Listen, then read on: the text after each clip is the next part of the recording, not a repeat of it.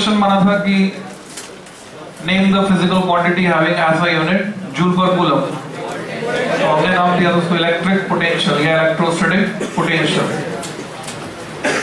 उसके बाद जैसे कि एग्ज़ाम में पूछा जाता है एट ए पॉइंट डिफाइन करना होता है तो तुमने डेफिनेशन लिखी थी at a point P situated at distance small R from given source charge capital Q तो अगर इसका विजुअलाइजेशन देखें ये हो गया सोर्स चार्ज कैपिटल क्यू इससे कुछ दूरी पर, यहाँ हुआ पॉइंट पी ये डिस्टेंस है स्मॉल आर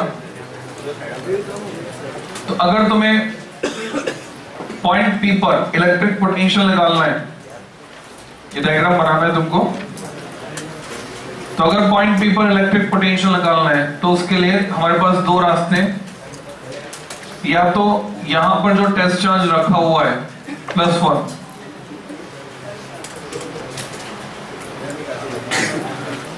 उस प्लस वन को जितना वर्क करना पड़ेगा यहाँ से इंफिनिटी तक जाने में, वो वर्क कैलकुलेट कर लो। या फिर इसका रिवर्स प्लस वन को इंफिनिटी से यहाँ तक लेकर आओ, जो वर्क करना पड़ेगा, वो वर्क कैलकुलेट कर लो। दोनों वर्क जो है वो सेम होंगे। मैग्नीट्यूड में इक्वल होंगे। बस अंतर ये होगा कि एक में सिस्टम वर्क करेगा और एक में एक्सटर्नल एजेंसी जब भी इस तरह की सिचुएशन आती है, जैसे मैकेनिक्स में इलेवन में भी तुमने पढ़ा था स्प्रिंग ब्लॉक सिस्टम ये कुछ बच्चे जो है ट्यून होने में देर लगाते हैं। इनकी फ्रीक्वेंसी इधर घूमती रहती है। रेडियो में सुई इधर उधर घुमाओ, इधर इधर इधर इधर, फिर धीरे धीरे ट्यूनिंग होती क्लास चालू हो चुकी है भाई। रजिस्टर खुल जाने चाहिए तक चाहे तुम पीछे की लाइन में बैठे हो, बिल्कुल।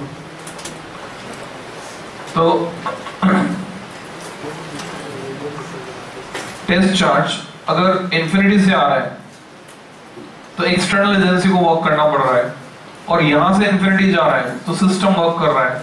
वर्क डन का सिंबल या साइन हम कैसे डिटरमाइन सिंबल तो डब्ल्यू है साइन कैसे डिटरमाइन करते हैं वर्क डन का? तो स्प्रिंग ब्लॉक सिस्टम की बात करें इलेवन क्लास में चले जाते हैं। तो अगर ब्लॉक की काइनेटिक एनर्जी कम होती है स्प्रिंग की पोटेंशियल एनर्जी बढ़ती है। तो ये एक्सटर्नल एजेंसी ने स्प्रिंग पर वर्क किया। स्प्रिंग कंप्रेस हो रही है। तो ऐसे सिचुएशन में स्प्रिंग जो फोर्स लगा रही है, उसके अगेंस्ट डिस्प्लेसमेंट हो रहा है। एंगल हो गया 180 degree so work done becomes negative पर किसके लिए? वर्क डन बाय स्प्रिंग पर अगर हम work done by external agency की बात करें तो एक्सटर्नल एजेंसी जिधर फोर्स लगा रही है। उधर ही कंप्रेशन हो रहा है, उसी डायरेक्शन में डिस्प्लेसमेंट हो रहा है। तो डन इज़ पॉजिटिव तो कब पॉजिटिव कब नेगेटिव लेना है, ये तुम्हें क्लियर होना चाहिए। ये मैथमेटिकली जाने की बजाय, अगर हम फिजिकली जाते हैं तो ज़्यादा क्लियरिटी रहती है। कैसे? तीन ब्रांच में डिवाइड कर लेते हैं मैकेनिक्स में साइन थर्मोडायनेमिक्स में साइन और इलेक्ट्रोमैग्नेटिज्म में साइन। तो थर्मोडायनेमिक्स में उल्टा चलता है। इवन फिजिक्स में और केमिस्ट्री में उल्टा चलता है। थर्मोडायनेमिक्स में अगर सिस्टम वर्क कर रहा है तो हम पॉजिटिव ट्रीट करते हैं और सिस्टम पर वर्क किया जा रहा है तो हम नेगेटिव ट्रीट करते हैं। जब एक्सपांशन होता है तो पॉजिटिव कंप्रेशन होता है तो नेगेटिव ये साइन कन्वेंशन हम थर्मोडायनेमिक्स में फॉलो करते हैं।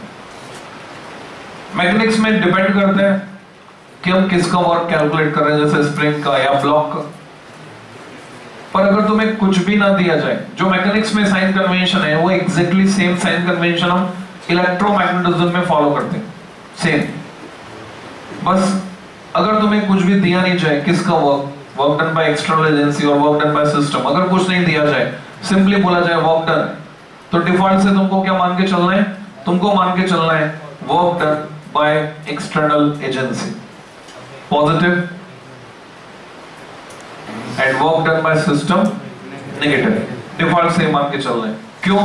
उसका लॉजिक ये है कि अगर एक्सटर्नल एजेंसी वर्क कर रही है तो सिस्टम की एनर्जी बढ़ेगी और एनर्जी बढ़ेगी तो पोटेंशियल भी बढ़ेगा। जैसे इस डस्टर को मैंने उठा के और ऊपर रख दिया। तो इसकी पोटेंशियल एनर्जी और पोटेंशियल दोनों बढ़ जाएँगे। तो एनर्जी बढ़ेगी, इसलिए पॉजिटिव और वर्क अगर सिस्टम ने किया डस्टर गिर रहा है ऊपर से नीचे सिस्टम वर्क कर रहा है तो एनर्जी घटेगी that's why work done is considered negative जब एनर्जी घटेगी सिस्टम की डिफ़ॉल्ट से हम मानेंगे नेगेटिव अगर कुछ स्पेसिफाइड नहीं है ये नहीं पूछा है कि किसने किया वर्क वो स्पेसिफाइड है तो जो स्पेसिफाइड है उसको फॉलो करेंगे। तो ये लॉजिक रहेगा साइन डिटरमाइन करने का। तो यहाँ कैलकुलेशन करते हैं। तुम्हें पता है, जैसे जैसे प्लस वन पास आएगा, उस पर लगने वाला फोर्स चेंज होगा। तो यहाँ पे वर्क डन जो कैलकुलेट करना है फोर्स है वेरिएबल तो तुमने इलेवंथ क्लास में सीखा वर्क एनर्जी पावर में। फोर्स अगर वेरिएबल होता है तो हम जो डिस्टेंस है, उसको स्मॉल स्मॉल सेगमेंट्स इतना छोटा सेगमेंट जिसके लिए फोर्स को कांस्टेंट मान सके डिवाइड कर लेते हैं। माना कि यहाँ पे जो वेरिएबल डिस्टेंस है, वो है x, जो शुरू में इंफिनिटी है, फिर घटते घटते घटते घटते आर रह जाती क्योंकि हम ग्रेजुअली ला रहे हैं। ग्रेजुअली मीन्स कल उसका मीनिंग तुम्हें समझाया था लास्ट में। नेट फोर्स ज़ीरो जितना फोर्स ये लगा रहा है, उतना ही फोर्स लगाकर ला रहे हैं। एडिशनल फोर्स लगाएँगे तो वर्क डन ज़्यादा होगा। तो ग्रेजुअली ला रहे हैं। Gradually is very important word तो कैलकुलेट कर सकते हैं जो वर्क होगा यूनिट चार्ज है ऑलरेडी तो work done per unit charge होगा। और वही वर्क पोटेंशियल के फॉर्म में स्टोर हो जाएगा। तो पी पॉइंट का जो पोटेंशियल होगा, उतना होगा। अगर पी पर लाकर इसको छोड़ दिया जाए तो इसमें ये एबिलिटी होगी कि ये यहाँ से इंफिनिटी तक अपने आप जा सकते हैं। तो तुम लिख सकते हो। डायग्राम बनाने के बाद। डायग्राम अगर तुमने बना लिया है तो तुम लिखोगे अकॉर्डिंग टू डेफिनेशन अकॉर्डिंग का short form A double C dot definition का शॉर्ट फॉर्म है DEF according to definition. Notation वही चलेगा। किस पर, किसके कारण? Potential at point P due to charge at A V subscript P A किस पर, किसके कारण? तो potential at P due to charge at A कितना होगा? Work required to take test charge from infinity to distance R कर लो या आर टू इंफिनिटी कर लो साइन हम फिजिकली डिटरमाइन करेंगे। फिजिकली कैसे? कि अगर चार्ज है पॉजिटिव तो पोटेंशियल होगा पॉजिटिव में, और चार्ज अगर नेगेटिव है तो पोटेंशियल होगा नेगेटिव तुम्हारे आसपास जो माहौल है पोटेंशियल सराउंडिंग्स की वजह से होता है, तुम्हारे आसपास सकारात्मक माहौल है पॉजिटिव तुम्हारे जान पहचान वाले रिश्तेदार पड़ोसी, तुम्हारे दोस्त सब कहते हैं कि तुम ये कर सकते हो। ये बहुत आसान काम है। तो तुम्हें लगने लगता है हाँ तुम कर सकते हो। वेरी इजी तुम्हारा पोटेंशियल बढ़ जाता है। पर अगर तुम्हारे आसपास नकारात्मक माहौल है, तुम्हारे आसपास वाले, तुम्हारे रिलेटिव्स तुम्हारे पड़ोसी, तुम्हारे जान पहचान वाले, अगर वो कहते हैं कि तुम नहीं कर सकते, ये बड़ा मुश्किल काम है।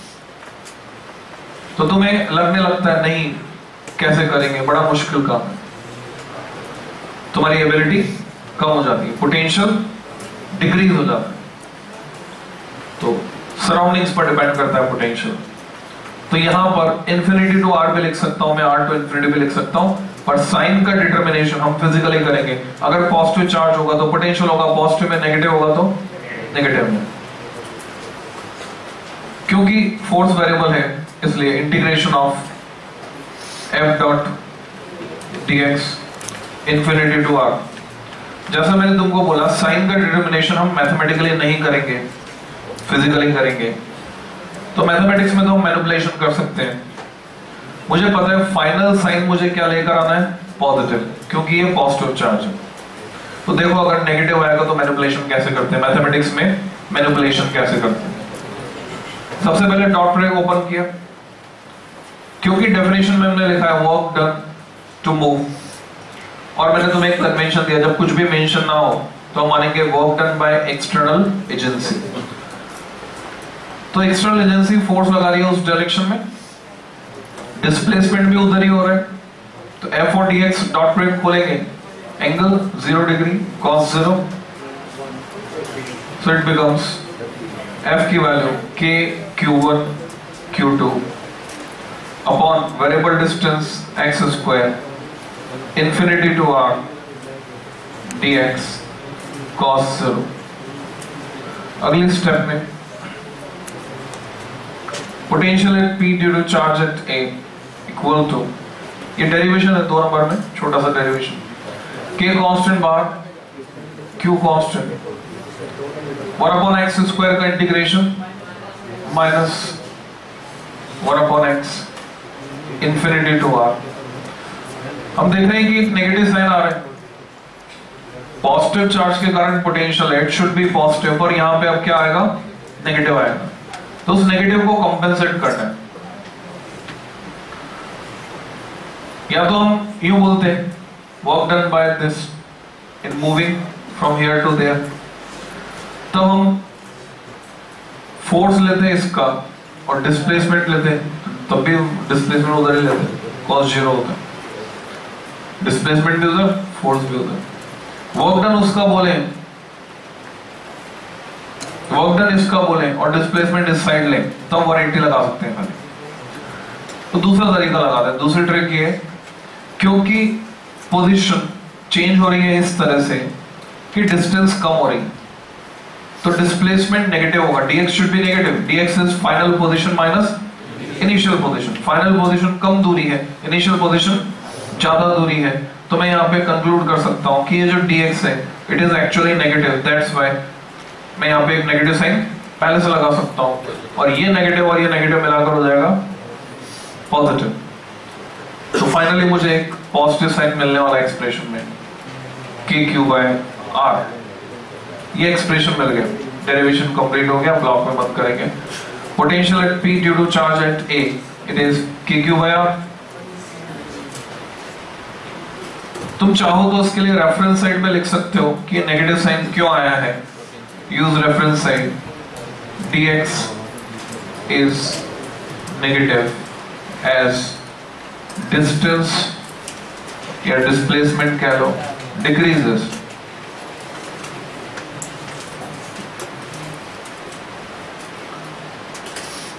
तो हमें एक्सप्रेशन मिल गया। जब भी पोटेंशियल निकालना होगा, हम फॉर्मूला यूज़ करेंगे K Q by are force के लिए था K Q Q by R square field के लिए K Q by R square potential के लिए एक आर और कम हो गया के क्यू बाय आर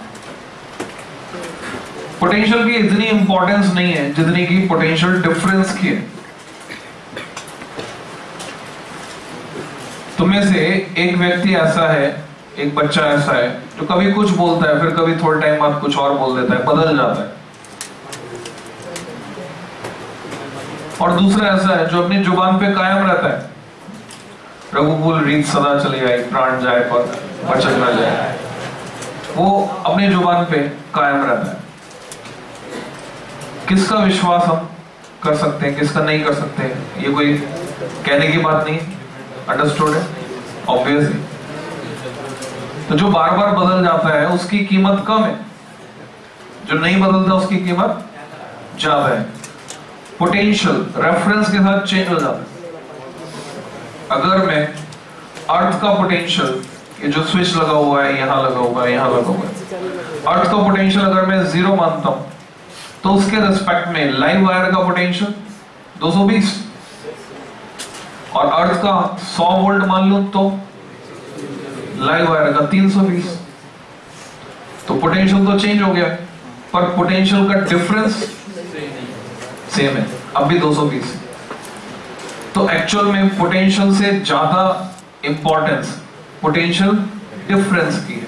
जो नहीं बदलता, उसकी इंपॉर्टेंस ज़्यादा होती है। तो हम पढ़ेंगे potential difference next article heading potential difference और इसके लिए हमारे पास स्टैंडर्ड शॉर्ट फॉर्म है। पोटेंशियल डिफरेंस बोर्ड में भी जब लिखा जाएगा तो तुम्हें एग्ज़ाम में क्वेश्चन में यही लिखा हुआ मिलेगा और तुम्हें भी यही लिखना है। P dot D dot potential difference ज़रूरत पड़ने पर हम इसको पोटेंशियल ड्रॉप के लिए भी यूज़ करते हैं और पोटेंशियल डिफरेंस के लिए भी यूज़ करते हैं। पी डॉट ई डॉट सीधे फॉर्मूला फॉर्मेट में लिखेंगे। डेल्टा वी एक्चुअल में हम अगर मूव कर रहे हैं किसी पॉइंट ए से किसी दूसरे पॉइंट बी तक ए टू बी तो एंड पॉइंट का जो पोटेंशियल होगा, वो होगा वी बी स्टार्टिंग पॉइंट का पोटेंशियल होगा वी ए तो जो पोटेंशियल डिफरेंस होगा, वो होगा V B minus V A फॉर्मूले को हमेशा के लिए याद करने के लिए। तुम इसको लिंक कर सकते हो। रेफरेंस साइड में तुम लिख सकते हो, लिख के देख सकते हो। तुमने इलेवन में ऑलरेडी पढ़ा है।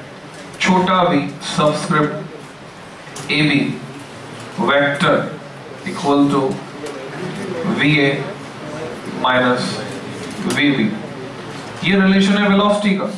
Relative velocity of object A with respect to B इसका जस्ट अपोजिट रिलेशन है पोटेंशियल का। वहाँ वेक्टर है, यहाँ स्केलर है, वहाँ छोटा भी है, यहाँ बड़ा भी है। वहाँ V A minus V B है, यहाँ वी बी माइनस वी है। फाइनल माइनस इनिशियल इस तरह से दोनों रिलेशन लिंक हो गए। वो भी याद रहेगा, ये भी याद रहेगा। एक पावरफुल वर्ड स्ट्रॉन्ग वर्ड हमने यूज़ किया linking V B minus V है। अब इसका यूज़ क्या है? इसका यूज़ सीखते हैं। इसकी इंपॉर्टेंस ज़्यादा है, इससे। क्योंकि ये कांस्टेंट रहता है, ये बदल जाता है।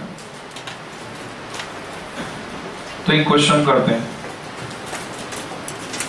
क्वेश्चन जो है स्टेटिक स्टेट से रिलेटेड नहीं है। Question belongs to dynamic state तो स्टेटिक और डायनामिक स्टेट में अंतर क्या आता है? ऐसे समझो। अंतर क्या आता है, ऐसे समझो। कि स्टेटिक स्टेट में डायलेक्ट्रिक कांस्टेंट कैपिटल के मेटल्स के लिए इंफिनिटी होता है। डायनामिक स्टेट में। अच्छा पूरा अभी समझने की कोशिश मत करना, बस सुन लेना, ऐसा कुछ होता है। धीरे धीरे ये पूरा अच्छा सॉलिड समझ में आएगा तुम्हें। आगे फिर दोबारा ज़िक्र होगा इसको। डायनामिक स्टेट में यही कांस्टेंट कैपिटल के बदल जाता है। मेटल्स के लिए वन हो जाता है। डायनामिक स्टेट तो स्टेटिक स्टेट में सिचुएशन अलग रहती है डायनामिक स्टेट में सिचुएशन अलग रहती है। लिफ्ट, जो कि लोहे का एक डब्बा है, गुड कंडक्टर,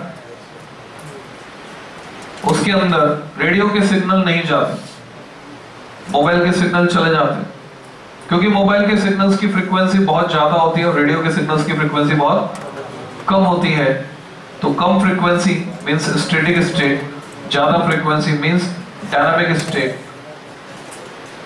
अभी सिर्फ़ ऐसा कुछ होता है, ये मान लो, ये आगे और क्लियर होगा। तो डायनामिक स्टेट में कंडक्टर के अंदर इलेक्ट्रिक फ़ील्ड एग्जिस्ट करता है। अंतर क्या आ गया? हमने पढ़ा था, थोड़ा टाइम पहले, कल कल वाले लेक्चर में पढ़ा था कि कंडक्टर के अंदर electric field zero static state में। पर डायनामिक स्टेट में नॉन ज़ीरो ये करंट इसलिए फ्लो हो रहा है वायर्स में। वायर्स में करंट को कौन फ्लो करा रहा है? चार्ज कैरियर इलेक्ट्रॉन्स आयंस तो वायर्स मेटेलिक कंडक्टर है, उसमें तो चार्ज कैरियर इलेक्ट्रॉन्स है। इलेक्ट्रॉन्स फ्लो करा रहे करंट को। इलेक्ट्रॉन्स या चार्ज कैरियर क्यों फ्लो होंगे? जब उन पे फोर्स लगेगा। फोर्स कब लगेगा? जब इलेक्ट्रिक फ़ील्ड होगा, क्योंकि एफ़ इक्वल टू क्यू अगर कंडक्टर के अंदर metallic wire is a good conductor अगर कंडक्टर के अंदर इलेक्ट्रिक फ़ील्ड नहीं होगा तो फोर्स नहीं लगेगा। फोर्स नहीं लगेगा तो इलेक्ट्रॉन फ्लो नहीं होंगे। But actually in dynamic state conductors के अंदर फोर्स लग सकता है और इलेक्ट्रिक फ़ील्ड होता है इसलिए फोर्स लगता है। इलेक्ट्रिक फ़ील्ड होगा तो फोर्स लगेगा। तो तुम्हें एक कंसेप्ट यहाँ पे सीखना है। स्टेटिक स्टेट में कंडक्टर के अंदर कोई इलेक्ट्रिक फ़ील्ड नहीं होता पर डायनामिक स्टेट में हो सकता है। Question belongs to dynamic state question ये है. It belongs to dynamic state means तुम ये मान के चलोगे कंडक्टर के अंदर इलेक्ट्रिक फ़ील्ड है. There is a conductor conducting wire, connecting wire AB the center of wire, center C of wire is connected to earth हम ये मानते हैं अर्थ का potential zero earth is a very large conductor having infinite capacity and zero potential तुम्हें दिया गया है given V A B means delta V equal to 220 volt then तुम्हें पता लगाना है। फाइन तुम्हें बताना है how much is V A and how much is V B you can raise your hand you can know the answer अगर तुम जानते हो इसका जवाब तो तुम हाथ ऊपर कर सकते हो।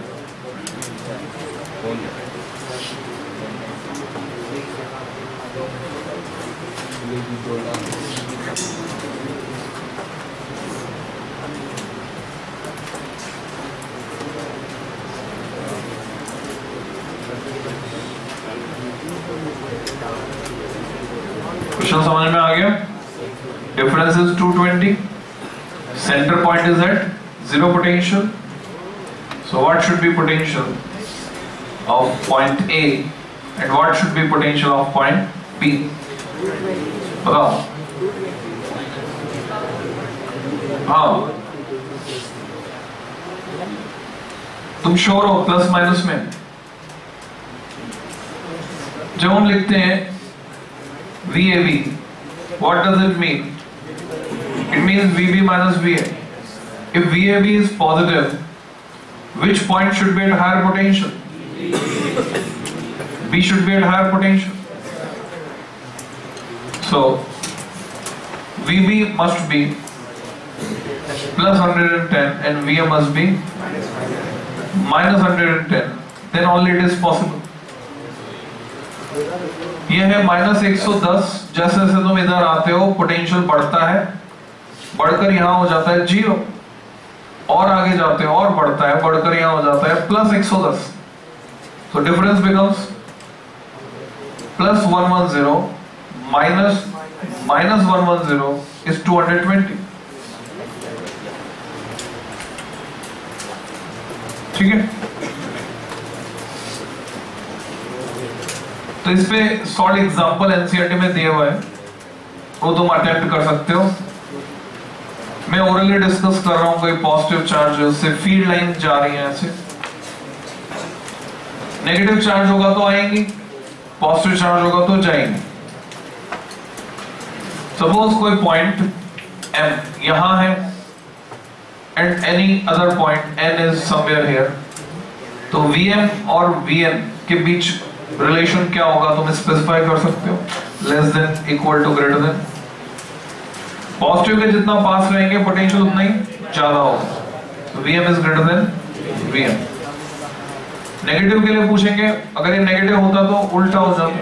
नेगेटिव से जितना दूर रहेंगे पोटेंशियल उतना ज़्यादा होगा। पास आएँगे तो नेगेटिव में कम होता चले जाएगा।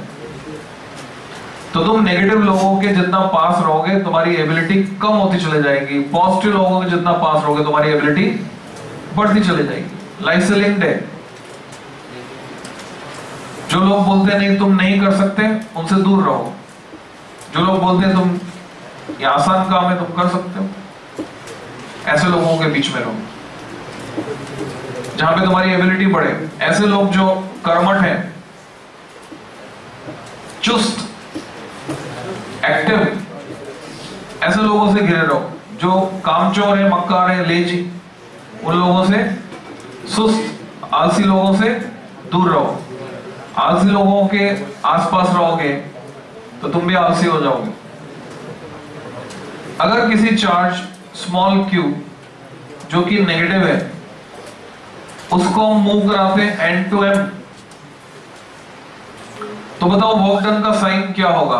अगर हम डिफ़ॉल्ट मान के चल रहे हैं डिफ़ॉल्ट ये है कि work done by external agency is positive and work done by system is negative तो अगर माइनस क्यू एन से एम आएगा तो हमें लाना पड़ेगा कि अपने आप आएगा?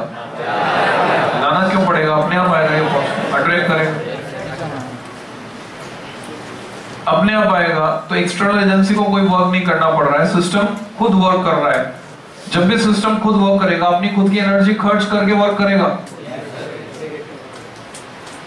तो हम बोलेंगे work done is negative actual में ये मानते हुए कि वर्क डन बाय सिस्टम तो work done by system is negative क्योंकि sorry work done by system मानते हुए नहीं work done by external agency मानते हुए.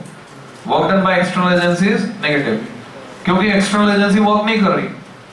सिस्टम खुद वर्क कर रहा है. या यूँ बोले एक्सटर्नल एजेंसी अगर वर्क करे फोर्स लगेगा इधर.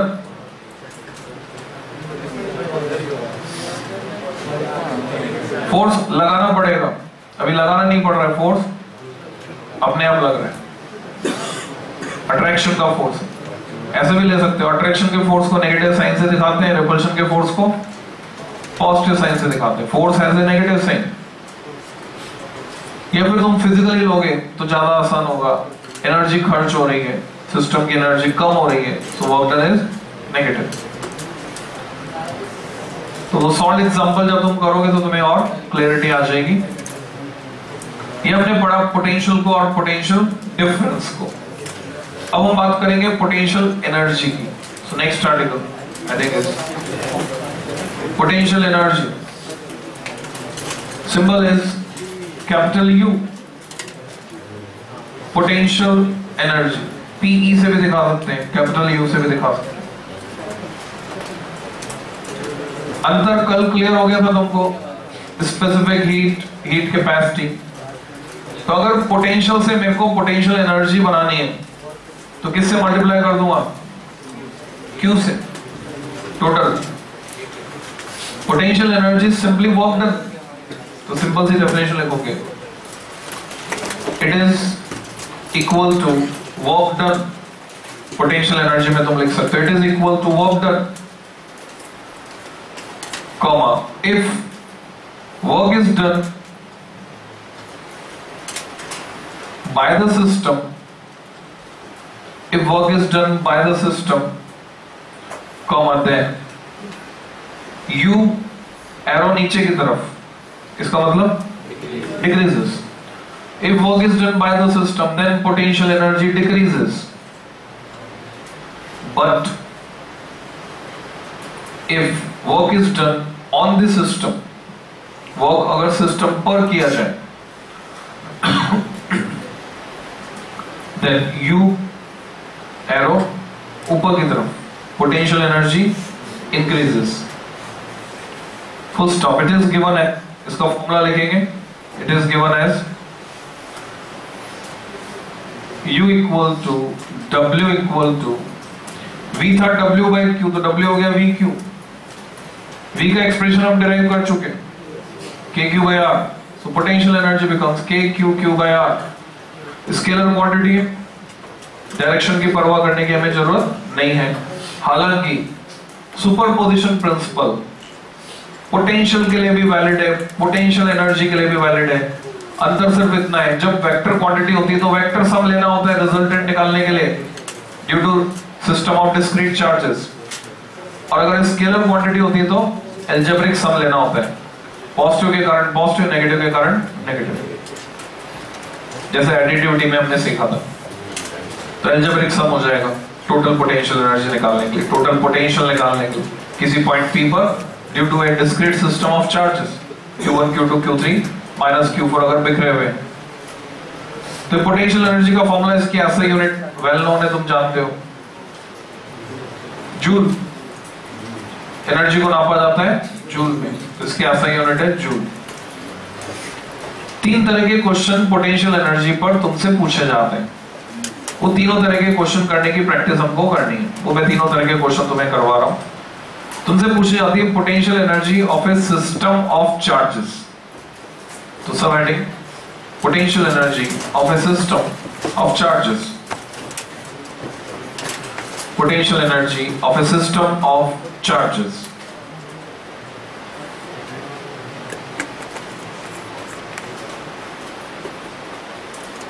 ऐसे समझो, जैसे कहीं पर टेंट लगाना है, कोई कार्यक्रम टेंट लगाना है तो सारा सामान टेंट हाउस से आएगा। ओरिजिन क्या हो गया?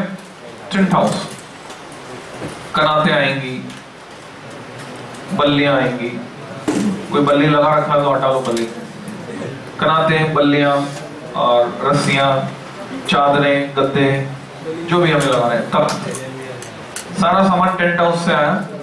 लाकर उसको अरेंज करके एक स्ट्रक्चर बनाया गया। उस स्ट्रक्चर की पोटेंशियल एनर्जी कितनी है? उतनी है जितना उस स्ट्रक्चर को बनाने में वर्क किया गया। वो स्टोर हो गया उस स्ट्रक्चर में एज पोटेंशियल एनर्जी इसी तरह से चार्जेस का कोई सिस्टम अगर हम अरेंज करते हैं तो हमको एक रेफरेंस चाहिए। जैसे पोटेंशियल एनर्जी को डिफाइन करने के लिए रेफरेंस चाहिए पोटेंशियल को डिफाइन करने के लिए रेफरेंस चाहिए, और वो रेफरेंस हम लेते हैं इंफिनिटी अगर ग्रेविटेशन चैप्टर में जाए तो ग्रेविटेशनल पोटेंशियल एनर्जी होती थी minus G M M upon R reference लेते थे इंफिनिटी और जब अर्थ को रेफरेंस लेते हैं तो ये हो जाती है एम जी एच अर्थ की सरफेस से हाइट एच पर potential energy M G H reference change होने पर चेंज हो जाती पर डिफरेंस पोटेंशियल एनर्जी का लिया जाए तो वो चेंज नहीं होगा पोटेंशियल डिफरेंस की तरफ़ तो यहाँ पर भी हमको एक रेफरेंस चाहिए। जैसे टेंट हाउस वाले का गोदाम, वो ऑरिजिन वहाँ से सारा सामान लाया गया। वैसे चार्जेस को जब तुम लाओगे, एक सिस्टम की फॉर्म में अरेंज करना है सिस्टम में भी ट्रायंगुलर ट्रायंगल के वर्टिसेस पे तीन चार्ज अरेंज करने, ज़्यादा चार्ज हो सकते हैं, कोई दूसरा सिस्टम हो सकता है। तो मान लो ट्रायंगुलर सिस्टम है सिंपलेस्ट लेकर एग्जांपल लेके हम चलते हैं। आसानी से हमको समझना है।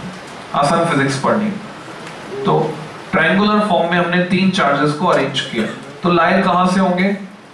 उनके घर से। उनका घर कहाँ है? रेफरेंस पर रेफरेंस है इन्फिनिटी जहाँ पर पोटेंशियल एनर्जी ज़ीरो है चार्ज की। तो एक एक करके चार्ज को लाएँगे रिस्पेक्टिव पोजीशंस पे रखेंगे।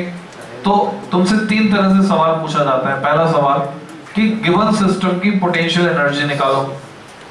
तो उसमें जो वर्क करना पड़ा वो पोटेंशियल एनर्जी वो हम कैलकुलेट करेंगे कितना वर्क करना पड़ेगा फिर तुमसे पूछते हैं, ये बताओ, ये सिस्टम स्टेबल होगा कि अनस्टेबल तो स्टेबिलिटी कैसे तय होती है?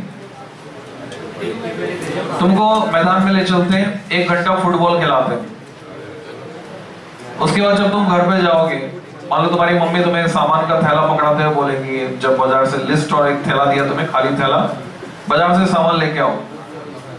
तुम बोलोगे, नहीं, अभी पहले कुछ नाश्ता, हलवा, दूध, चाय। बिकॉज़ तुम थक चुके हो। Energy becomes negative system become stable जब हम थक जाते हैं, हमारे पास एनर्जी की कमी होती है तो हमारी स्टेबिलिटी बढ़ जाती है, हम बैठ जाते हैं, और थक जाते हैं, सो जाते तो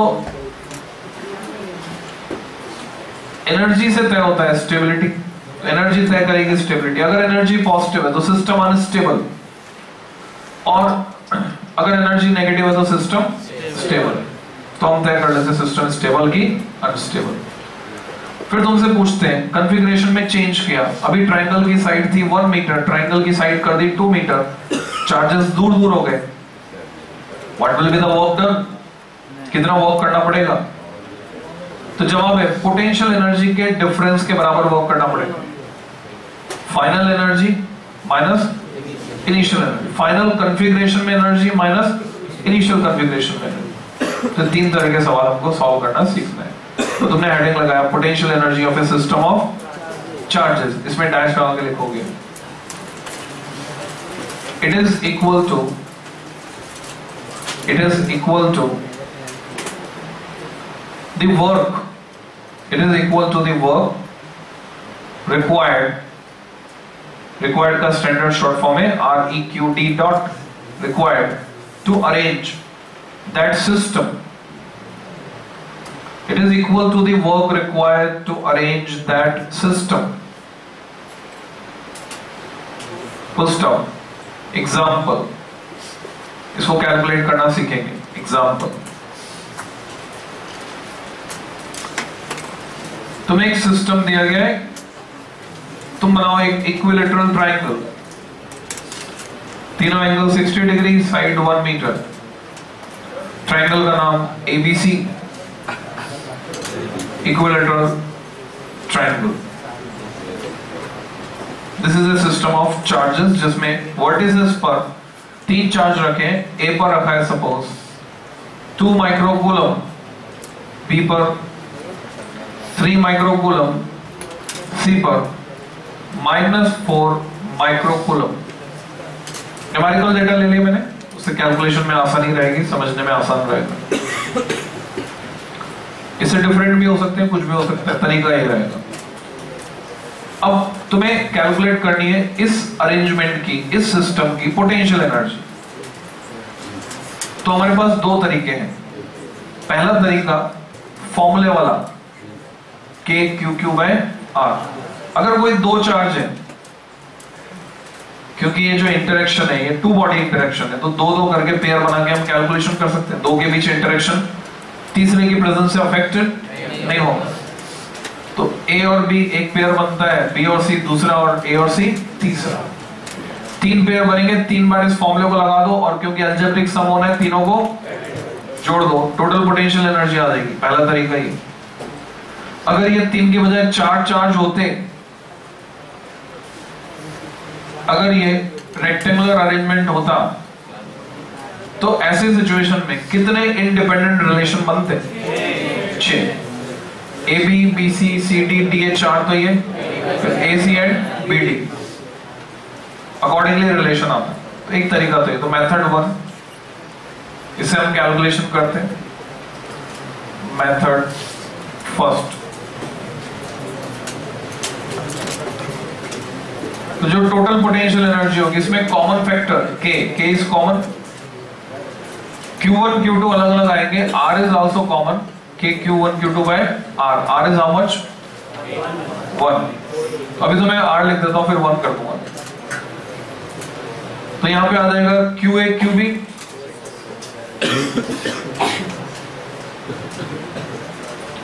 फिर आ जाएगा QB QC फिर आ जाएगा QC QA अब वैल्यूज़ पुट कर देता हूँ। 9 इंटू टेन की पावर 9 अपॉन वन यहाँ पर भी माइक्रो है, यहाँ पर भी माइक्रो है माइक्रो माइक्रो मल्टीप्लाई होगा। पिको 10 की पावर माइनस ट्वेल्व सभी में आएगा 10 की पावर माइनस ट्वेल्व कॉमनली बाहर लिख सकता हूँ इंटू टेन की power minus twelve A B two three जा six B C minus twelve C A minus 8 so what we get यहाँ पे 12 में से 6 कम कर दो तो 6 बचे और 8 14 नाइन जो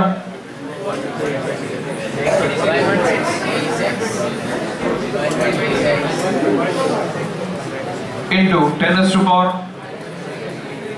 minus 3 scientific notation okay, negative. Scientific notation. 1.26 अगर 10 की पावर माइनस वन लिखता हूँ तो ज़्यादा सूटेबल नहीं लगता तो बेटर है हम इसको पॉइंट में लिखते हैं. Minus point one two six joule this is result of method one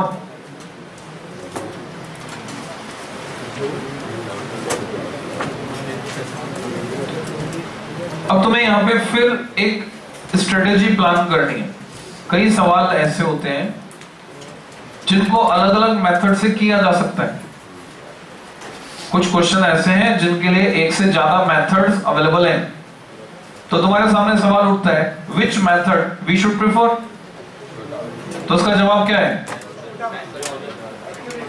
वो मेथड प्रेफर करेंगे, जिसमें सबसे कम समय में आंसर निकल रहा होगा। Time time is the criteria तो सबसे कम समय जिस मेथड में लगेगा, हम उसी को फॉलो करेंगे। तो डिफरेंट डिफरेंट मेथड में तुम पढ़ते वक्त ही एनालाइज कर लोगे कि किसमें कम समय लगता है। आगे सिचुएशंस आएँगी। मैं तुम्हें एनालाइज करना सिखाऊँगा। फिर हम उस मेथड को प्रेफर करें जब एग्ज़ाम में सॉल्व करना होगा, हमें पहले से पता होना चाहिए कि इस मेथड में कम टाइम लगेगा, इस मेथड में ज़्यादा टाइम लगेगा तो कौन सा मेथड हमें यूज़ करना है? वो हमें पहले से पता होना चाहिए यहाँ पर जब सिचुएशन सिमेट्रिकल होती है, जैसे कि यहाँ है तो ये वाला मेथड फास्ट रिज़ल्ट देता है। इसमें कम समय लगता है। हम इसे प्रेफर करेंगे फॉर्मूले वाला। और अगर सिचुएशन एसिमेट्रिकल होती है, मान लो ये इक्विलेटरल ट्रायंगल नहीं होता तो इस मेथड के कंपैरिजन में ज़्यादा फास्ट रिज़ल्ट मिलता। अब जो मेथड बता रहा हूँ, मेथड टू उससे। धीरे धीरे फैमिलियरिटी बढ़ेगी, तुम्हें समझ में आने लगेगा मैं क्या कह रहा हूँ। तुम साइंस के स्टूडेंट हो, मैं भी साइंस की बात कर रहा हूँ आर्ट्स की बात तो नहीं कर रहा। इसलिए काफ़ी कुछ समझ में आएगा, पर थोड़ा बहुत टाइम के साथ फैमिलिटी के साथ समझ में आएगा। जैसे जैसे तुम पकते जाओगे वैसे वैसे तुम पक्के होते जाओ। तो मेथड सेकेंड मान लो, यहाँ एक भी चार्ज प्रेजेंट नहीं है, कुछ भी नहीं। अभी सारा सामान टेंट हाउस में पड़ा है इनफिनिट किसी भी चार्ज को पहले ला सकते हैं, किसी को भी बाद में डजेंट मैटर कोई फ़र्क नहीं पड़ता। मान लो, सबसे पहले मैं ए पर लाकर रखता हूँ टू माइक्रोकूलम कितना वर्क करना पड़ा? Actually you is W and how much work is done ना तो कोई अट्रैक्शन का फोर्स लगेगा, ना रिपल्शन का। जब मैं पहले चार्ज को ला रहा हूँ, क्योंकि यहाँ कुछ भी है नहीं। अगर यहाँ पहले से कोई इलेक्ट्रिक फ़ील्ड होता तो वो इलेक्ट्रिक फ़ील्ड इस पे फोर्स लगाता, उसकी वजह से वर्क होता, वो हम कैलकुलेट करते हैं कुछ भी नहीं है यहाँ तो। तो वर्क डन इज़ ज़ीरो अब ये यहाँ पर आ गया।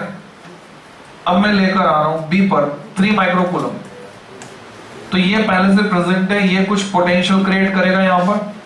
तो जब मैं बी पर लाकर थ्री माइक्रोकुलम रखूँगा, उसमें कुछ वर्क होगा, और वो वर्क होगा पोटेंशियल इनटू चार्ज उसको मैं लिख सकता हूँ। Potential at point B due to charge at A multiplied by charge which is placed at point B ऐसा लिख सकता हूँ। अब ये दोनों यहाँ पर प्रेजेंट है। अगर सिस्टम में सिर्फ़ दो ही होते हैं तो ये पोटेंशियल एनर्जी हो गई थी अरे तुम्हें आता है क्या? आता है, आगे बता दोगे? या पूछोगे मेरे से आगे बाहर, ये वाला मेथड या आज पहले दिन आया हो। बताओ भाई। मैं तो तुम्हें पढ़ाने आया, तुम सुन ही नहीं रहे हो मेरी बात। कैसे चलेगा? सारा एफर्ट वेस्ट किया मेरा। तुमको सिखाना चाहता हूँ मैं। तुम्हें इंटरेस्ट ही नहीं है सीखने में। अब मैं तीसरे को लेकर आ रहा हूँ। ये भी प्रेजेंट है और ये भी प्रेजेंट है और potential scalar quantity algebraic sum होगा उसका। तो कैसे लिखूँगा? प्लस तीसरी टर्म आएगी यहाँ पे। इधर जगह नहीं है, इसलिए नीचे लिख रहा हूँ। इसी का पार्ट है। Potential at C due to charge at A plus potential at C due to charge at B multiplied by Q C हो गया? इसमें वैल्यूज़ पुट करेंगे? जैसे तुम वैल्यूज़ पुट करोगे you will get the same result यही आ जाएगा। बस ये ध्यान रखना है, जहाँ सिमेट्री होगी this method will give fast result जहाँ सिमेट्री नहीं होगी this method will give fast result तो हमने सीखा पहली तरह का सवाल पोटेंशियल एनर्जी कैलकुलेट कैसे की जाए? इसमें लिखो स्टार मार्क करके दूसरी तरह का सवाल तुमसे पूछा जाता है स्टेबिलिटी के बारे में। तो तुम स्टार मार्क करके लिख सकते हो। द सिस्टम इज़ स्टेबल यहाँ पर जो सिस्टम है वो कैसा है? स्टेबल स्टेबल को अंडरलाइन कर दो। द सिस्टम इज़ स्टेबल क्यों है stable as u is negative जो पोटेंशियल एनर्जी है वो नेगेटिव है, इसलिए स्टेबल है। System is stable as u is negative bound state में है। जैसे तुमने बोर के थ्योरी में पढ़ा था इलेक्ट्रॉन की टोटल एनर्जी नेगेटिव आती है नेगेटिव आती है तो बाउंड होता है वो न्यूक्लियस के साथ। छोड़कर नहीं जा सकता। इसी तरह से सैटेलाइट और प्लेनेट सिस्टम होता है। सैटेलाइट बाउंड है। भारत ने या दूसरे देश जितने भी सैटेलाइट छोड़े हैं, वो अर्थ के साथ बंधे हुए हैं बाउंड स्टेट क्योंकि उनकी एनर्जी नेगेटिव है। अगर उनको सफिशिएंट एनर्जी दे दी जाए तो एस्केप कर जाएँगे, जब उनकी वेलोसिटी एस्केप वेलोसिटी के बराबर हो जाएगी। तीसरे तरह का क्वेश्चन अब क्वेश्चन लिखोगे। Question if in above example if in above example the given charges are shifted. Given charges are shifted to vertices of a larger triangle. Given charges are shifted to the vertices of a larger triangle of side 2 meter. Larger triangle of side 2 meter comma then. तो work done कितना होगा? Then find work done 0.63 जो तो हमें वही work done by external agency निकालना है और वो होगा final potential energy minus initial potential energy तो इसका सॉल्यूशन होगा W equal to delta U equal to UF minus UI F stands for final, I stands for initial. अगर मैंने साइड डबल कर दी तो जो चेंज आना है, सिर्फ़ यहाँ पे वन की जगह हो जाएगा टू तो ये रह जाएगा आधा. तो यूएफ को मैं लिख सकता हूँ minus point one two six upon two minus U I को लिख सकता हूँ minus point one two six minus minus plus हो गया प्लस का एक, माइनस का आधा तो बचा प्लस का आधा। Point one two six upon two which is point zero six three unit लिखना ना भूले। Joule this much work is to be done क्योंकि वर्क डन पॉजिटिव आ रहा है। ये भी इंडिकेट करता है सिस्टम बाउंड है। अपने आप चार्ज दूर नहीं जाएँगे। खींच खींच के ले जाना पड़ेगा external agency has to do work that's why work done is positive अगर सिस्टम वर्क करता तो नेगेटिव आता।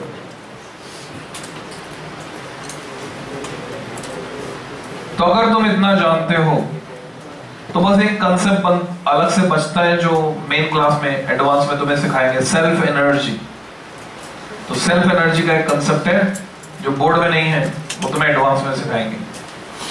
बाकी ये पार्ट पूरा हो गया। पोटेंशियल पोटेंशियल एनर्जी हमने क्वांटिटीज को पढ़ लिया। डाइपोल पे जाने से पहले इनको समराइज करते हैं, इनका रिलेशन देखते हैं, फिर डाइपोल पढ़ेंगे। तो अभी तक जो क्वांटिटीज तुमने पढ़ी हैं, मैं उनको समराइज कर रहा हूँ। सब heading various relations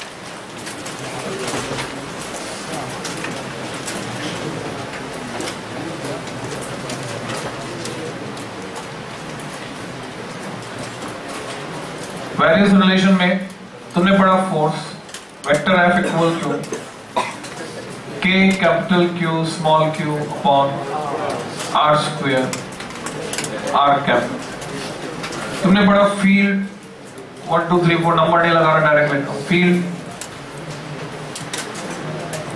K Q by R square R cap फिर तुमने पढ़ा पोटेंशियल के क्यू बाय आर फिर तुमने पढ़ा पोटेंशियल एनर्जी को। के क्यू क्यू बाय आर गलती कहाँ होती है तुमसे? जब एग्ज़ाम में तुम थोड़ी जल्दबाजी दिखाते हो तो तुम करते हो इनर्शिया मिस्टेक इनर्शिया मिस्टेक में तुम क्या करते हो? इसके फॉर्मूले में भी कई बार आर स्क्वायर कर देते हो, इसमें भी आर स्क्वायर कर देते हो। कैलकुलेशन में गलती हो जाती है। तो तुम्हें कंट्रोल रखना है, ध्यान रखना है।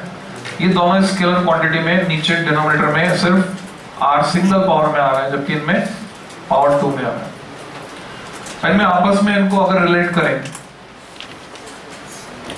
तो हम इसको नाम देते हैं इलेक्ट्रिक लॉरेंज फोर्स अगर कोई charge Q electric field E में रखा है तो वो एक फोर्स एक्सपीरियंस करता है Q E vector F equal to Q E यहाँ से देख सकते हो. और इस फोर्स को हम बोलते हैं इलेक्ट्रिक लॉरेंज फोर्स जब मैग्नेटिज्म पढ़ेंगे तो वहाँ तुम सीखोगे, अगर कोई चार्ज क्यू v वेलोसिटी से चलता हुआ मैग्नेटिक फ़ील्ड बी में एंटर करता है तो वो एक फोर्स एक्सपीरियंस करता है, q times v cross b, उसको बोलते हैं मैग्नेटिक लॉरेंज फोर्स सिमेट्री रहेगी।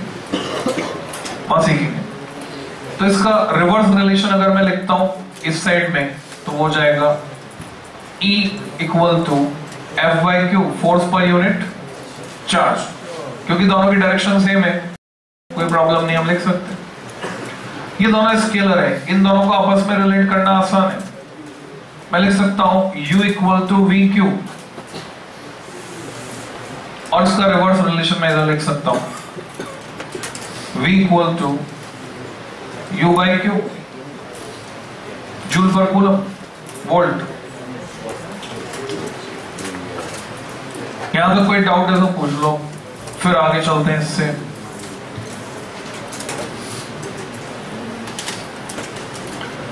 हमने वेक्टर को वेक्टर से लिंक किया स्केलर को स्केलर से। अब बारी है वेक्टर को स्केलर से लिंक करने की। तो इलेवंथ क्लास में तुमने सीखा था ये रिलेशन थोड़ा स्पेशल होता है। जब भी तुम एक वेक्टर क्वांटिटी को एक स्केलर क्वांटिटी से लिंक करने की कोशिश करोगे रिलेशन इज़ समवॉट स्पेशल क्या स्पेशलिटी है? अगर मैं तुमसे पूछूँ इलेवंथ में जो तुमने फोर्स और पोटेंशियल एनर्जी के बीच रिलेशन पढ़ा वो बताओ। हाँ it is F equal to minus D U by D R जब भी हम चेंज लेते हैं with respect to distance then it is called gradient और हमें पार्शियल डिफरेंशिएशन करना पड़ता है। अभी ये स्केलर रिलेशन है। अब अगर मैं इसको वेक्टर कर दूँ तो यहाँ पे मुझे लगाना पड़ेगा एक unit vector R cap direction के लिए। और इसका जो मीनिंग होता है, इसका मीनिंग होता है माइनस इसको हम ऐसे भी लिखते हैं ग्रेड यू हम इसको ऐसे भी लिखते हैं, माइनस एक सिंबल बनाते हैं, इसको बोलते हैं डेल यू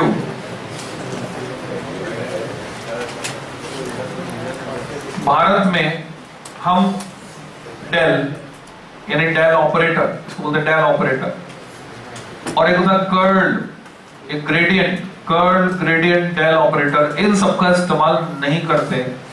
विदेशी किताबों में तुम देखोगे, सारी कैलकुलेशन वो इसको यूज़ करके करते हैं। भारत में हम क्या करते हैं? इनकी बजाय वेक्टर्स फेजर्स इनको यूज़ करते हैं। तो इसका इस्तेमाल बहुत लिमिटेड रहेगा। क्यों? आँख दुख रही क्या तुम्हारी? फिर दूरबीन बना के क्यों देख रहे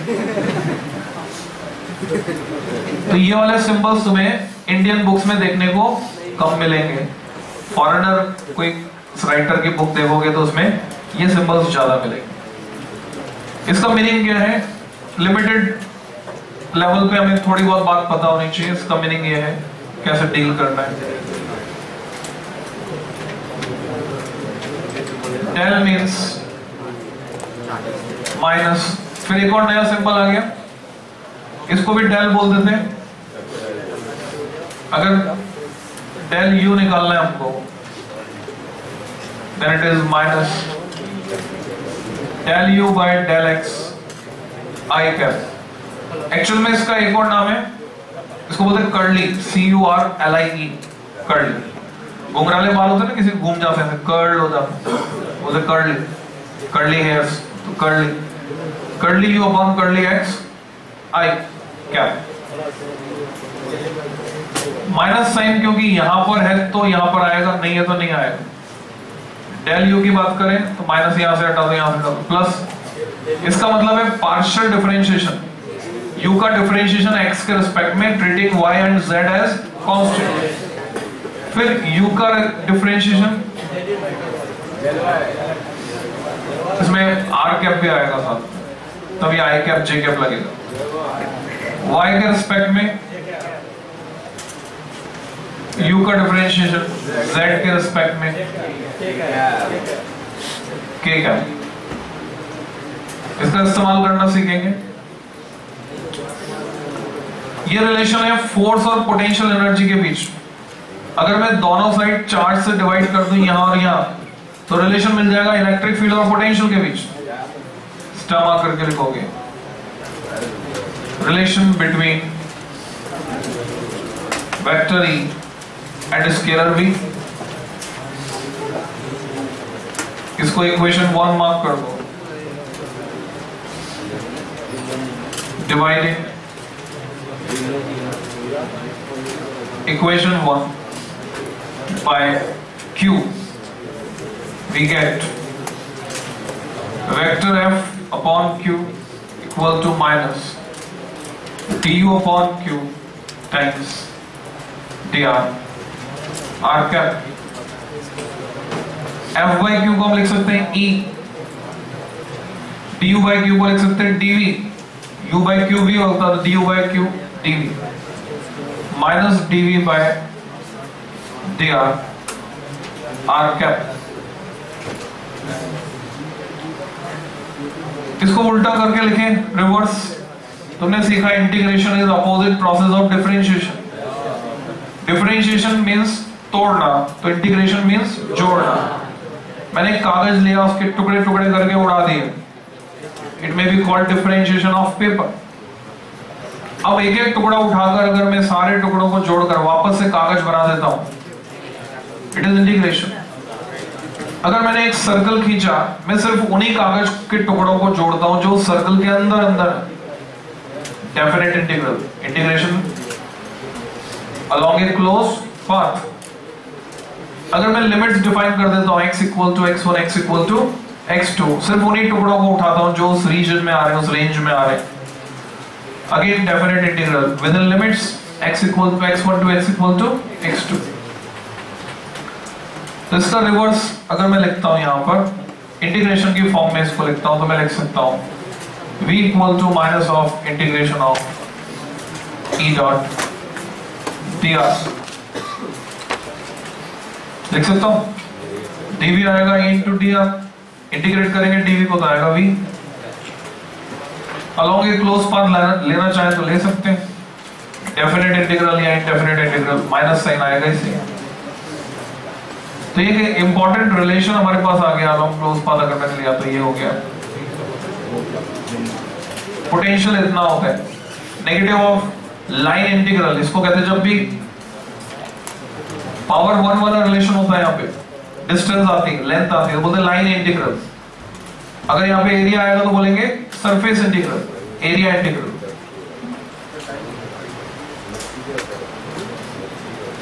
यहाँ से वेरीफाई हो रहा है कि इधर ये जो डॉट प्रोडक्ट है स्केलर प्रोडक्ट जिसको कहते हैं तो स्केलर प्रोडक्ट का रिज़ल्ट क्या आएगा? स्केलर क्वांटिटी तो इधर स्केलर क्वांटिटी है स्केलर प्रोडक्ट इधर वेक्टर क्वांटिटी तो ये यूनिट वेक्टर आ रहा है। पोटेंशियल तक वो स्केलर था, अभी वेक्टर बन गया। तो तुम में से जो बच्चे कैलकुलस से घबराते हैं, दूर भागते हैं, तय कर लो कैलकुलस तो पढ़ना ही पड़ेगा, अगर इंजीनियरिंग करनी है। इसके बिना मुक्ति नहीं है।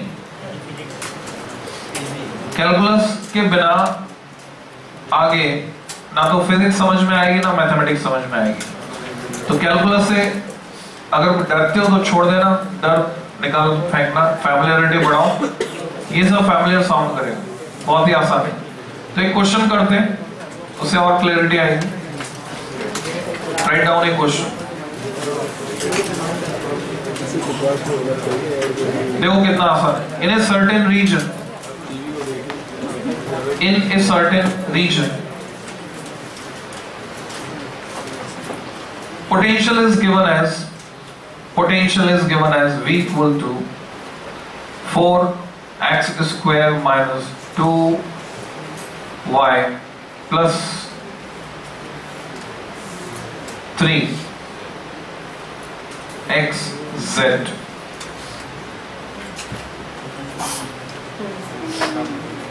Suppose ये volt. इसका मतलब ये हुआ कि पोटेंशियल जो है वेरी कर रहा है उस रीजन में और अलग अलग पॉइंट्स के जो कोऑर्डिनेट्स होंगे एक्स वाई जेड कोऑर्डिनेट उसके हिसाब से उस पोटेंशियल की वैल्यू होगी फ़ंक्शन है एक्स वाई और जेड का potential then find electric field तुमसे कहा जा रहा है इलेक्ट्रिक फ़ील्ड पता करो। Then find electric field at a point P किसी पॉइंट पी पर पता करो। जिसके कोऑर्डिनेट्स तुम्हें दिए हुए हैं। One zero minus one P point के कोऑर्डिनेट्स तुम्हें दे दिए। वन ज़ीरो माइनस वन ये x coordinate y z coordinate तुमसे कह रहे पता करो यहाँ पर इलेक्ट्रिक फ़ील्ड कितना होगा। तो हम ये फॉर्मूला यूज़ करेंगे। We know that equal to अगर मैं इसको एक्सपांड करके लिखता हूँ minus del V upon del x i cap del V upon del y j cap del V upon del z k cap पहले मैं इसको डिफरेंशिएट करता हूँ with respect to x y और जेड को कांस्टेंट ट्रीट करके। Four x square का differentiation ये वाला माइनस ऐसा का ऐसा। मैंने लिखा एट एक्स इसका हो गया ज़ीरो क्योंकि 2y कांस्टेंट पर इसका होएगा 3z क्योंकि 3z में z कांस्टेंट मानेंगे तो यहाँ आएगा plus 3z multiplied by i cap. अब मैं y के रिस्पेक्ट में डिफरेंशिएट करूँगा। इसका ज़ीरो इसका भी zero minus two minus two j का अब मैं z के रिस्पेक्ट में डिफरेंशिएट करूँगा, ये तो ज़ीरो हो गया। Plus three x k cap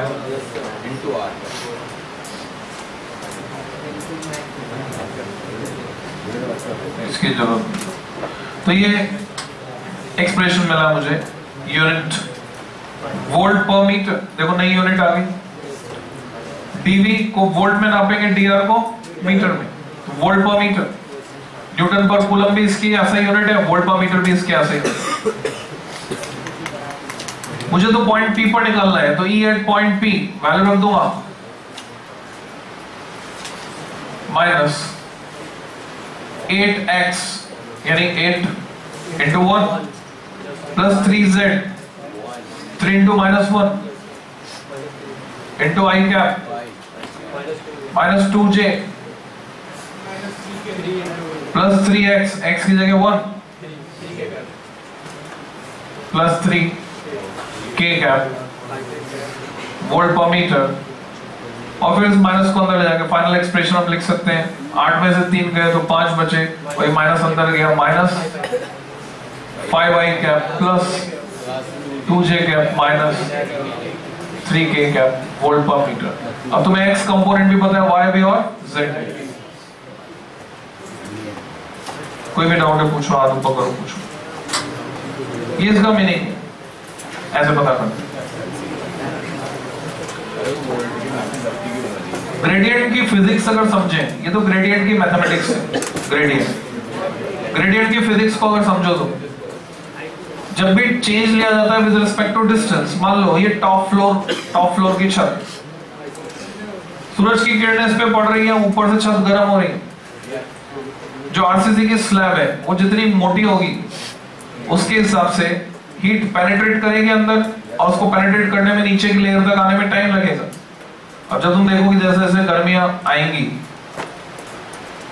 तो तेज धूप पड़ रही है और तुम्हारा कमरा टॉप फ्लोर पे है तो सीलिंग फ़ैन सूट नहीं करेगा तुमको। दो बजे के बाद सीलिंग फ़ैन गर्म हवा फेंकना शुरू करेगा, क्योंकि वो ऊपर से आने वाली गर्मी, पहले तो एक ग्रेडियंट बनेगा। ऊपर ज़्यादा गर्म होगी लेयर नीचे वाली लेयर कम, गर्म नीचे वाली लेयर और कम, गर्म। छत गर्म हो जाएगी तो पंखा गर्म हवा फेंकेगा। तो वहाँ कौन सा फ़ैन सूट करेगा? दीवार पे लगने वाला। दीवार भी वो वाली जो सूरज की तरफ़ से तपती ना हो उधर दूसरा कमरा हो साइड में। तो ठंडी हवा फेंकेगा। वॉल फ़ैन तो ये बना ग्रेडियंट फिर तुमने इलेवंथ क्लास में पढ़ा था, किसी पाइप में अगर पानी बह रहा है लेमिनार फ्लो टर्बुलेंट फ्लो ये सब पढ़ा था स्ट्रीम लाइन तो पानी अगर बह रहा है तो ऊपर वाली जो लेयर ये पानी यहाँ पे गिरा दे तो ऊपर वाली लेयर और नीचे वाली लेयर इसमें एक वेलोसिटी ग्रेडियंट सेट हो जाएगा। नीचे वाली लेयर कम स्पीड से चलेगी, ऊपर वाली लेयर कंपैरेटिवली ज़्यादा स्पीड से चलेगी। तो डिस्टेंस के साथ चेंज इज़ कॉल्ड ग्रेडियंट ये ग्रेडियंट की फिजिक्स है।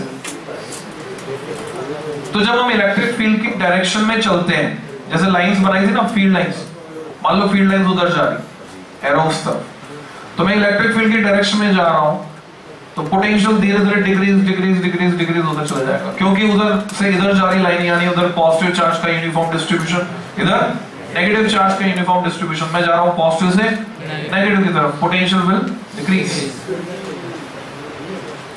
ठीक है? तो हमने इन क्वांटिटीज के बीच रिलेशंस को समझा। अब हम बात करते हैं डाइपोल की। Next article heading electric dipole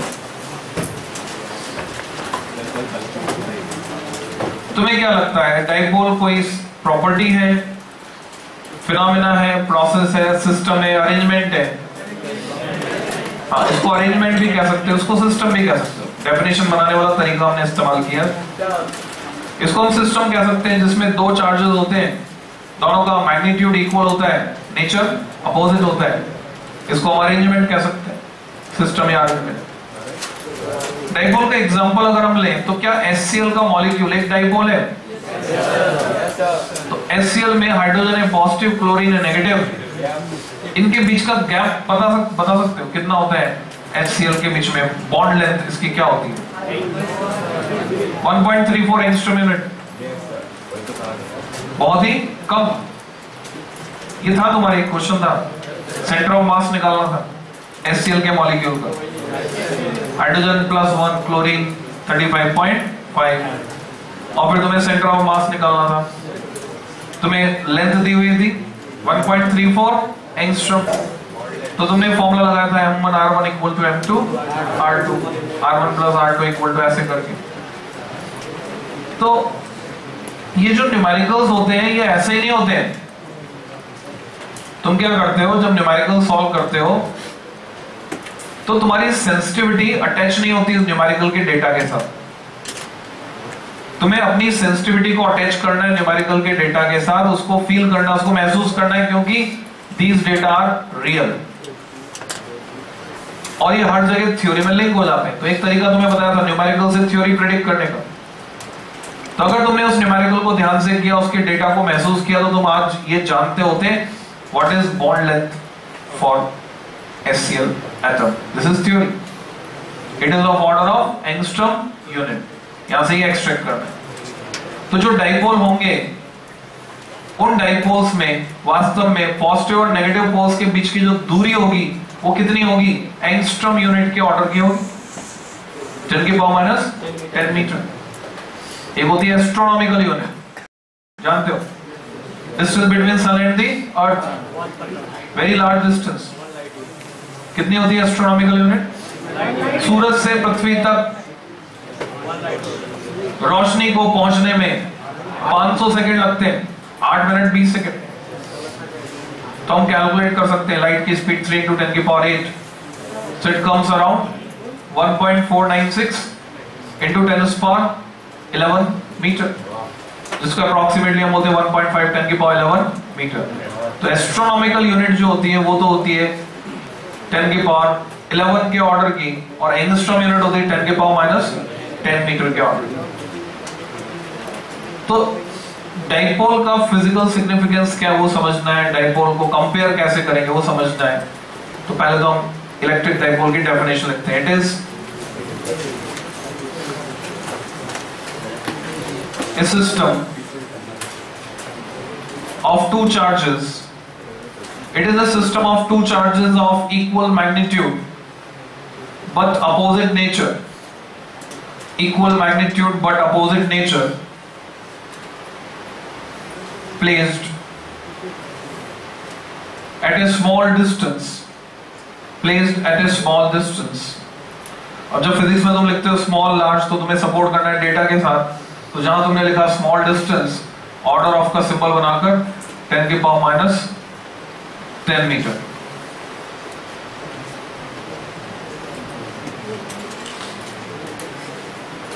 bracket में लिख दोगे 10 की power minus 10 metre order of 10 raised power minus 10 metre full stop example HCl molecule HCl molecule dipole का एग्जांपल है.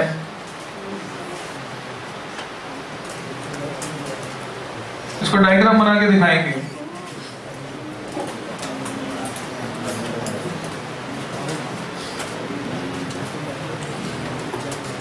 Plus q?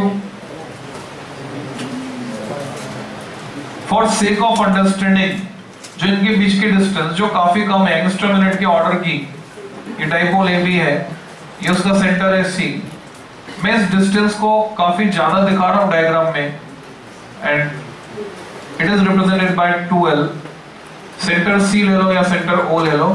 सी से L इस तरफ़, L उस तरफ़.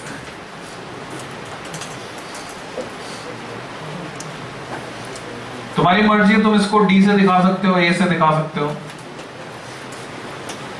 For sake of calculations calculation में आसानी हो। इसके लिए हम इसको दिखाते हैं 2l से। तो ये हुआ एक इलेक्ट्रिक डाइपोल डाइपोल ए भी 12 किस ऑर्डर का है?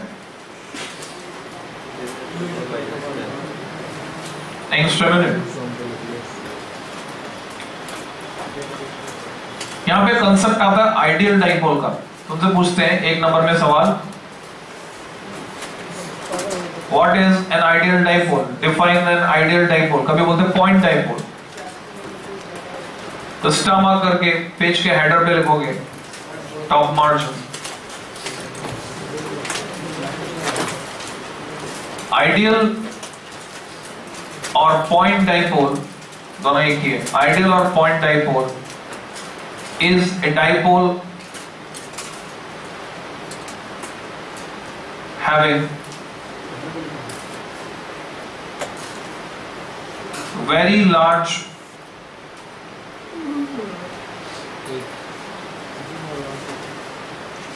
charge magnitude very large charge magnitude and very small distance between charges. Very small distance between charges. तो इसलिए वो पॉइंट बन जाता है, इसलिए बोलते पॉइंट डाइपोल तो चार्जेस के बीच की डिस्टेंस बहुत बहुत कम हो और चार्ज का मैग्नीट्यूड बहुत बहुत ज़्यादा हो तो बोलेंगे डाइपोल आइडियल एग्ज़ाम में कभी भी डाइपोल को डिफाइन करने के लिए नहीं कहते। बच्चों से गलती होती है। एग्ज़ाम में पूछते हैं डिफाइन इलेक्ट्रिक डाइपोल मोमेंट और बच्चे लेके आते हैं system arrangement of two charges वो डाइपोल को डिफाइन करे आते हैं। एग्ज़ाम में कभी भी डाइपोल की डेफिनेशन नहीं पूछते। एग्ज़ाम में दो नंबर में क्वेश्चन आता है define electric dipole moment give its SI unit तो नेक्स्ट हेडिंग 2m दो नंबर में। Electric dipole moment electric dipole moment chemistry के साथ लिंक कर देंगे हम इसको वहाँ पढ़ के आए तो केमिस्ट्री तुम्हें समझना है कि अगर ये एक मैग्नेट है दिस इज़ ए मैग्नेट ये उसका नॉर्थ पोल है और ये साउथ पोल है तो मैग्नेट में दो पोल हुए तो क्या बन गया? डाइपोल मेरे पास एक मैग्नेट है तुम्हारे पास एक मैग्नेट है। अब हम ये ज़रूर जानना चाहेंगे कि किसका मैग्नेट ज़्यादा स्ट्रॉन्ग तो ये जानने का तरीका हमारे पास क्या है? अगर बचपन में तुम खेल रहे थे अपने दोस्त के साथ, तुम्हारे दोस्त के पास एक मैग्नेट था, एक मैग्नेट तुम्हारे पास था तो उस समय जो जानने का तरीका तुमने निकाला था, तुमने इजाद किया था डिस्कवर्ड जब तुम्हारा दिमाग बहुत तेज चला करता था। तो देखो क्या कॉमन ऑब्जर्वेशन है। यहाँ एलन में, कोटा में most of the students are toppers of their schools first ten में वाले जो बच्चे होते हैं, ज़्यादातर बच्चे वो होते हैं, और यहाँ आगे क्या हो जाता है? डम हो जाते उनकी रैंक चले जाते पीछे। बियॉन्ड हंड्रेड तो इसका मतलब जब तुम छोटे थे अपने अपने स्कूल में थे, तब तुम ज़्यादा होशियार थे। जब तुम खेलते कूदते थे, तुम्हारी एक्टिविटीज़ में खेलना कूदना शामिल था, तब तुम ज़्यादा होशियार थे। इसका मतलब अभी भी तुम्हें क्या करना चाहिए? खेलना कूदना चाहिए। ये जो तुम बातों में, मोबाइल में टाइम बर्बाद करते हो, गप्पों में, मोबाइल में टाइम बर्बाद करते हो, उसकी बजाय तुम्हें क्या करना चाहिए? खेलना कूदना चाहिए। एक प्लास्टिक की बॉल ली एक बैट लिया, एक घंटा खेल लिए मज़ा आ जाता है। माइंड फ्रेश हो जाता है। और जब माइंड फ्रेश हो जाता है, तब वो सीखने के मोड में आ जाता है। अब जब तुम पढ़ाई करते हो, एक बार पढ़ते हो, तुम्हें सब याद हो जाता है। और प्लास्टिक की बॉल मतलब उससे टक टक आवाज़ होती है। जो पढ़ रहे हैं, उनको डिस्टरबेंस हो रहा है तो वो स्माइली स्टायरोफोन की बॉल उससे तो कोई आवाज़ भी नहीं बड़े आराम से खेल सकते हो। बहुत सारे गेम बनते हैं उस बॉल से। वापस लौटते हैं। डाइपोल को कंपेयर करना है। तुमने तरीका निकाला। तुमने देखा तुम्हारा मैग्नेट लाइन से कितनी ऑर्बिट उठा पा रहा है? एक के बाद एक के बाद एक के बाद एक। और उसका मैग्नेट कितनी ऑर्बिट उठा पा रहा है? जिसका मैग्नेट ज़्यादा ऑर्बिट उठा लेगा, वो जीत जाएगा। उसका मैग्नेट पावरफुल ये तरीका था उस समय। अब जब तुम ट्वेल्थ में फिजिक्स पढ़ लेते हो और तुम एक नई क्वांटिटी सीख लेते हो magnetic dipole moment electric dipole moment अब तुम्हें डाइपोल्स को अगर कंपेयर करना है तो तुम ऑलपिन वाले तरीके की बजाय अब न्यूमेरिकल टर्म्स में बात कर सकते हो। वो क्वालिटेटिव मेथड था। अभी तुम्हारे पास आ गया क्वांटिटेटिव मेथड तुम कंपेयर कर सकते हो दो दो डाइपोल्स को उनके डाइपोल मोमेंट के बेसिस पर। कि जिसका डाइपोल मोमेंट ज़्यादा, वो ज़्यादा पावरफुल तो इलेक्ट्रिक डाइपोल्स को अगर हमें कंपेयर करना है तो electric dipole moment magnetic dipoles को कंपेयर करना है तो मैग्नेटिक डाइपोल सिमेट्री चलेगी। जितने डेरिवेशन हम यहाँ डाइपोल के लिए करने वाले हैं, वो सारे ऐसे कैसे एज इट इज़ वैलिड है उनके रिजल्ट्स मैग्नेटिज्म में। वहाँ पे डिराइव करेंगे ही नहीं। वहाँ डायरेक्टली रिजल्ट्स यूज़ करेंगे हम। डिराइव यहाँ करेंगे।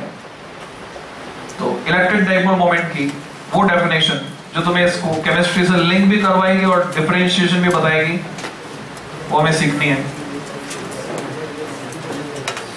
इस डायग्राम के रेफरेंस में अगर मैं बात करूँ तो किसी एक चार्ज का मैग्नीट्यूड ये ले लो, या ले लो, दोनों का मैग्नीट्यूड सेम है और इसका प्रोडक्ट डिस्प्लेसमेंट वेक्टर के साथ, हम ऐसे भी लिख सकते हैं डिस्टेंस बिटवीन देम यानी q इनटू 2l पर डिस्टेंस लिखने की बजाय, अगर मैं कहता हूँ displacement vector of plus q with respect to minus q तो इसमें ये जो डाइपोल मोमेंट है क्वांटिटीज का सिंबल बना लो, इसको दिखाते हैं capital P sorry small p vector इससे दिखाएँगे small p vector and it is directed in physics from minus q to plus q जबकि केमिस्ट्री में तुम इसकी डायरेक्शन पढ़ते हो प्लस q से माइनस q तो ये जो डिफरेंस आ रहा है, वो इसलिए है केमिस्ट्री में रेफरेंस लेते हैं हम।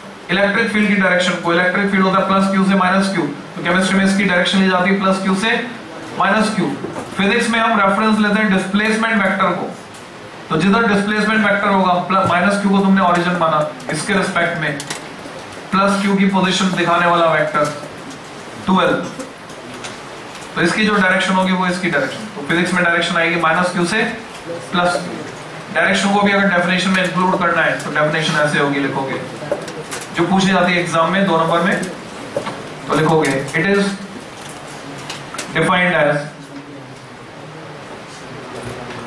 product of magnitude of one of the charges. It is defined as product of magnitude of one of the charges with displacement vector with displacement vector of plus q wrt standard short form with respect to minus q displacement vector of plus q with respect to minus q WRT standard short form में exam में use कर सकते हैं। Mathematically express करेंगे that is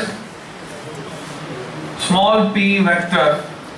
ये ध्यान से बनाना बड़ा p मत बना देना छोटा p क्योंकि बड़े p से हम दिखाएँगे आगे एक और क्वांटिटी पढ़ेंगे पोलराइजेशन उसको दिखाएँगे इसी चैप्टर में small p vector is q into 12 vector तो अब 12 में ऑलरेडी इसकी डायरेक्शन छुपी हुई है।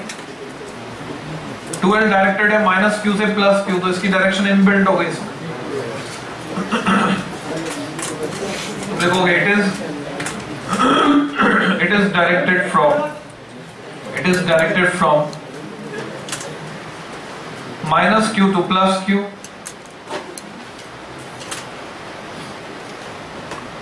having SI unit, इसकी SI यूनिट पूछी जाती है एग्ज़ाम में।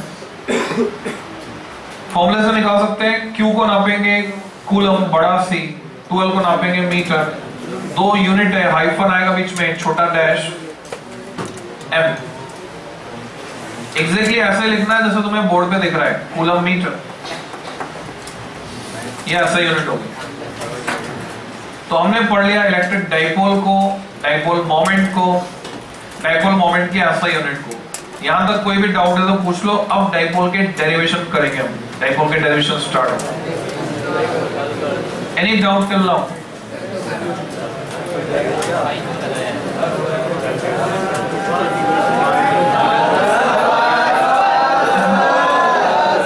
कल भी आएगा। पर अभी हमारे पास आज है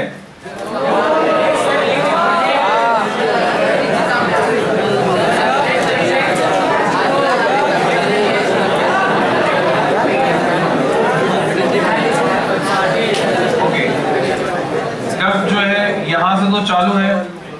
बाहर से बंद है।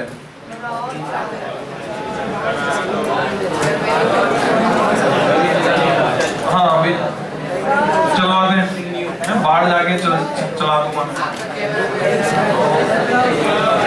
अभी पाँच मिनट है हमारे पास। पाँच मिनट और। बैचेस आगे पीछे हो जाएँगे क्योंकि अभी तुम्हें सुविधा मिली हुई है कि तुम चारों में से किसी भी टाइम आ सकते हो। एग्जैक्टली सेम कंटेंट डिलीवर हो रहा है। तो तुम्हें हेडिंग लगाना है। बहुत ज़्यादा तो नहीं हेडिंग लगाओ।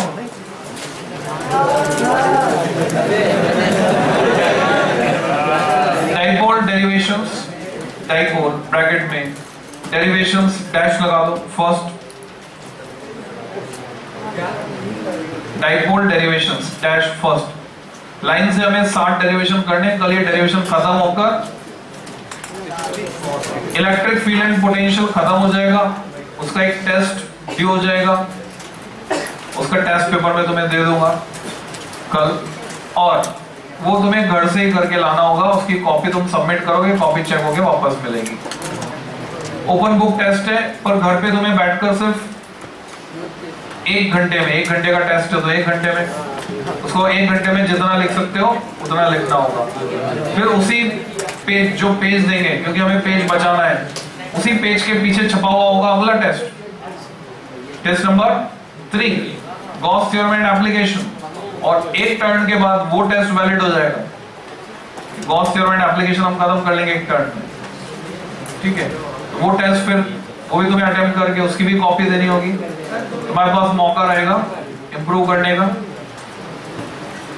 और जिन बच्चों को फ़र्स्ट टेस्ट का पेपर नहीं मिला है, वो भी बांट देंगे, वो भी तुम ले पाओगे। ठीक?